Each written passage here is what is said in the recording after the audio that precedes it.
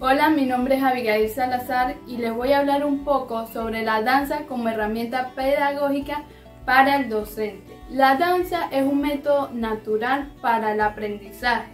Es una forma básica de expresión cultural. Sin embargo, nuestro sistema educativo incluye desde los primeros años de educación infantil eh, artes como el dibujo, la música, y la danza queda un tanto descuidada.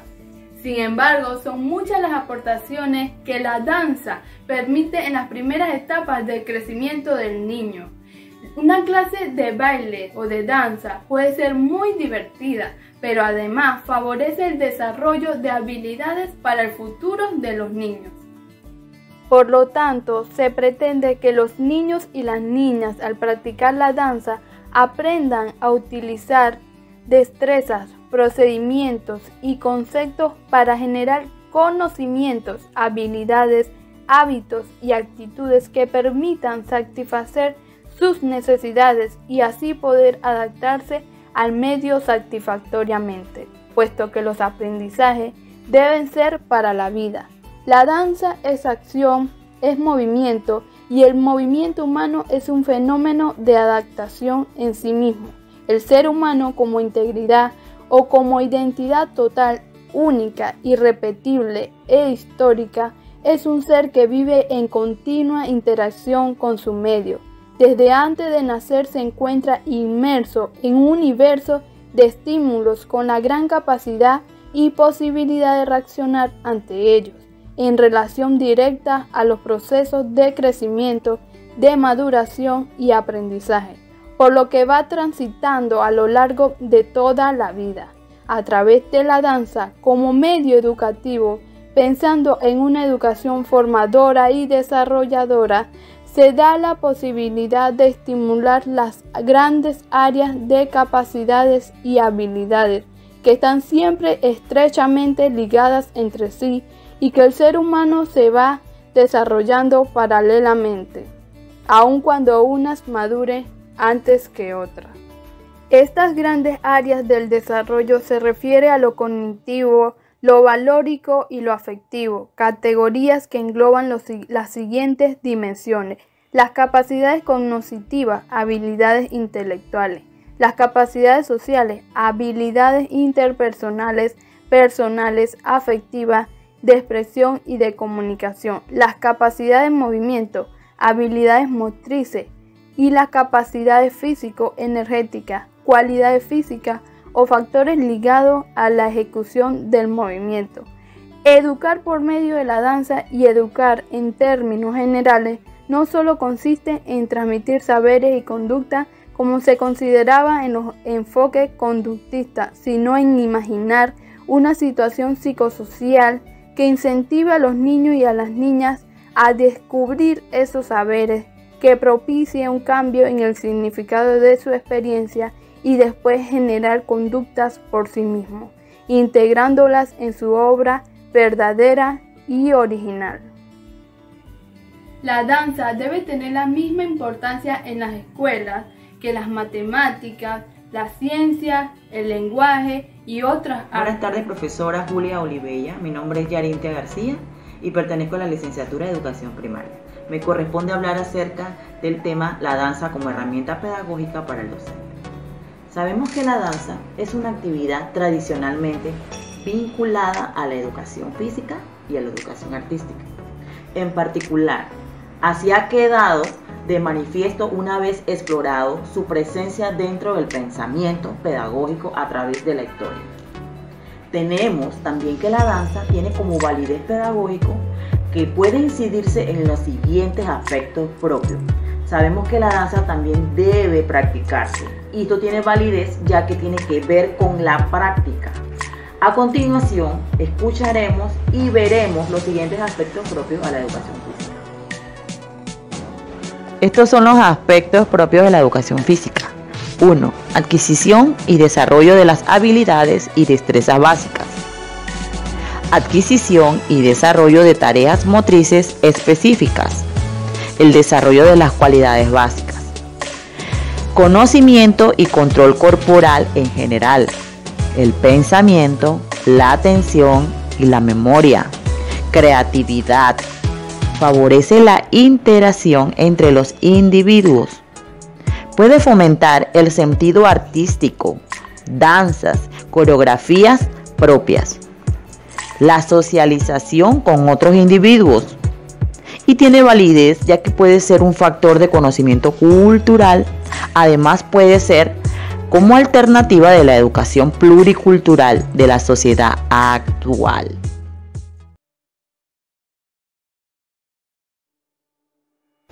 Muy buenas tardes, profesora Julia Olivella. Mi nombre es Francisco Guerra, soy estudiante de Cursan, curso de tercer año en la educación. En este caso voy a hablar sobre la danza como aporte y disciplina.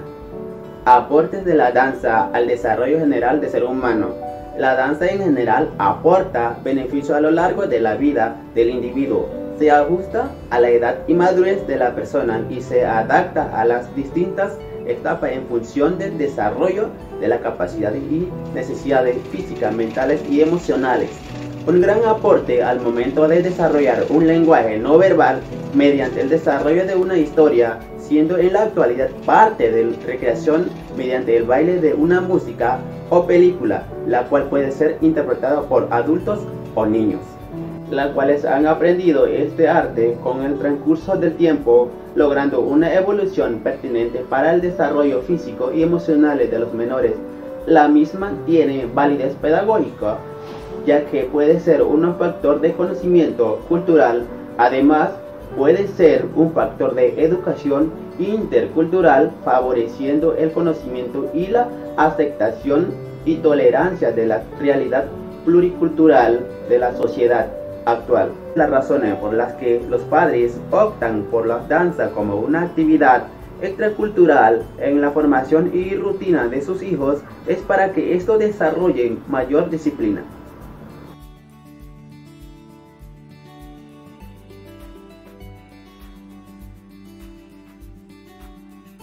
Buenas tardes profesora, compañeros. Mi persona Karina Rodríguez tiene el agrado de darles una breve exposición sobre el tema la danza como adquisición del desarrollo de la inteligencia visoespacial. Primero que todo, debemos hacernos la pregunta, ¿qué es la inteligencia visoespacial? Es la capacidad de decir dónde están los objetos. Esto también incluye las partes del cuerpo, también sirve para diferenciar en qué, en qué, tan lejos están los objetos unos de otros. Les estaré mencionando algunas características sobre la inteligencia visoespacial. 1. Los individuos con la inteligencia visoespacial poseen la capacidad de diferenciar formas, objetos, incluso desde diferentes ángulos distinguen y admiten la idea del espacio, saben observar y utilizar mapas, planos y otras formas de representación. Aprenden por medio de la observación Reconocen con facilidad caras, objetos, formas, figuras, colores, detalles, etc. Pueden desplazar objetos en el espacio, perciben y producen imágenes mentales. Pero ¿cómo aprende un niño con inteligencia visoespacial? Eh, caminar mentalmente por las habitaciones de su casa, recordar la posición de los muebles, conectar los diferentes objetos, te ayuda a entrenar su conocimiento espacial y recordar cosas más fáciles. Muchas gracias. A la Universidad de Panamá.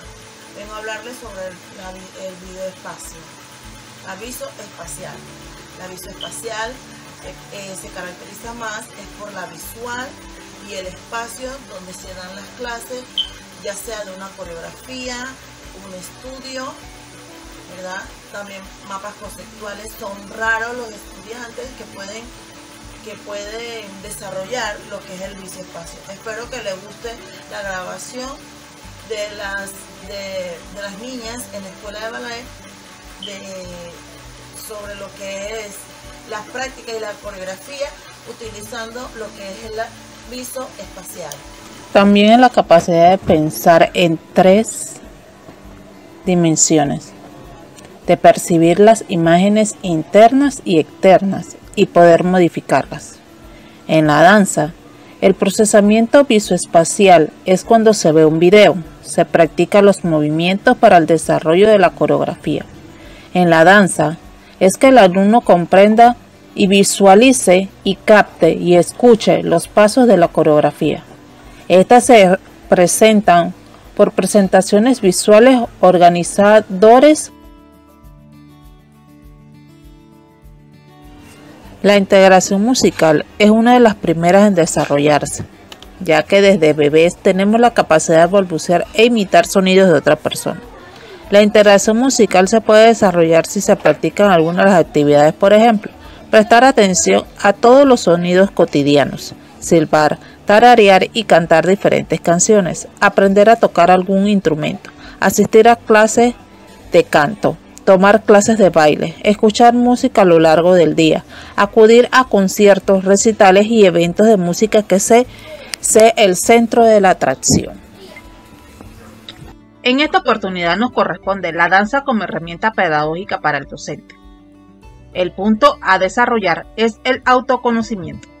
El autoconocimiento es conocerse a sí mismo, fortalezas, sus debilidades, recursos con los que contamos para realizar algunas acciones o afrontar problemas, tener conciencia de nuestra personalidad, valores, aficiones, para así poder compartir con los demás. El bailarín debe con el tiempo conocerse en detalles para saber cómo reaccionar ante determinadas situaciones o emociones que se le presenten, debe poseer básicamente conocimiento de sus respuestas, de la influencia del entorno sobre sí, cómo responde su cuerpo, entre otras, para poder utilizar adecuadamente algunas herramientas de autoconocimiento.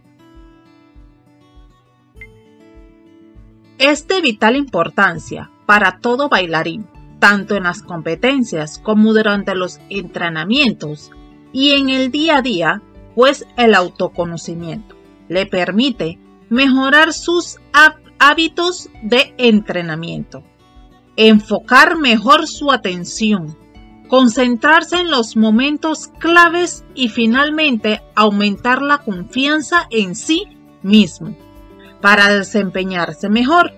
También le ayudará a desarrollar una autoestima fuerte y a tomar mejores decisiones en las clases de ensayos, presentaciones y competencias.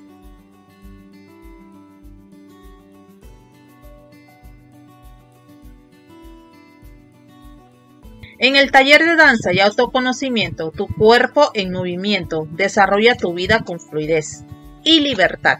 Así lograrás un camino de entrada a tu conciencia y aprenderás conceptos y herramientas prácticas para conocerte. Aquí te escuchas y escuchas a otros mediante experiencias en las cuales descubrirás procesos de autorrealización y aprenderás a propiciar condiciones para favorecer ambientes cerebrales de neurogénesis que transforman, potenciarán, talentos y lograrás bienestar que se reflejan en la calidad de vida. Trabajamos con una metodología de taller de experiencia para explorar, explorar con tu cuerpo la creatividad estética, el movimiento, el ritmo y elementos de tus expresiones, además al reconocer ritmos interiores. Revelarás caminos expresivos de tu cuerpo como un pincel que dibuja en el espacio. En esta ocasión mencionaremos algunas formas en las que puedes trabajar en tu autoconocimiento, que son 1. Escucharte a ti mismo y a tus emociones y en qué situaciones estas presentan. 2. Escucha y acepta las opiniones de los demás. 3. Conoce tus puntos ciegos. 4. Grábate y ve tus videos. 5. Reflexiona luego de cada práctica, presentación o competencia.